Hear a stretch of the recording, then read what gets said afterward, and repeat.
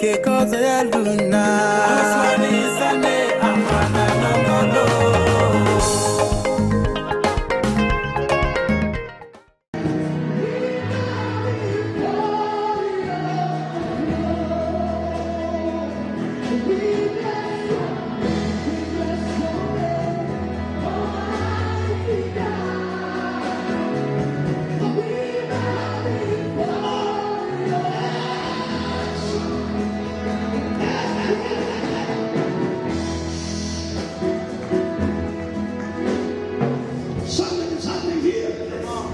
said, something is happening here. She told me she had a brain tumor, brain operation.